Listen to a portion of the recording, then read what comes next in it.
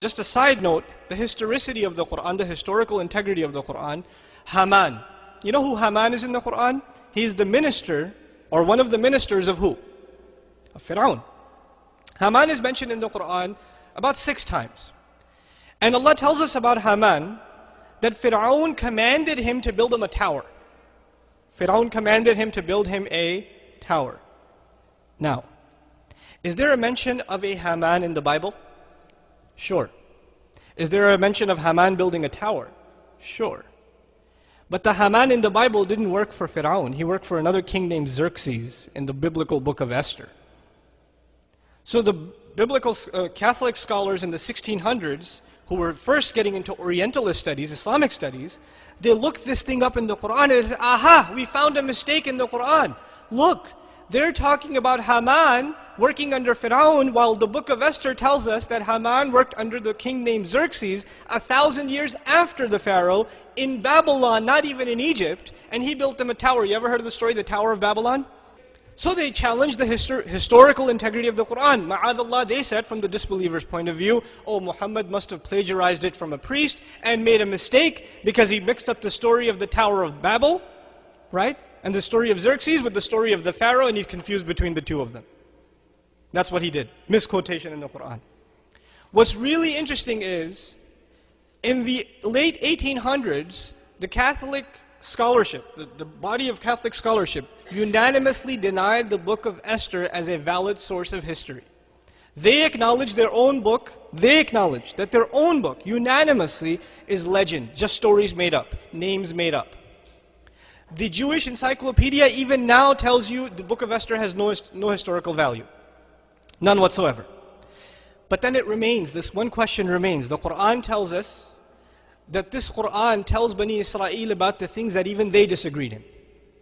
Even they disagreed in some stuff, and this Quran tells them. This speaker is giving this to you. He can't be the speaker then. There's some, this knowledge is coming from somewhere else. Now check this out. You know Maurice Bucaille is famous uh, Muslim who wrote Bible, Quran, and science? Before he got into that subject, he was a historian. He wanted to study Islamic history.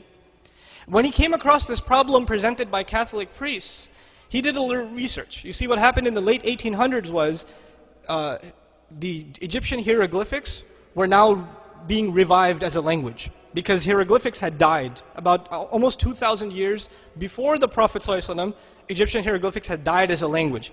And they were revived by German and French scholars. The study is called Egyptology.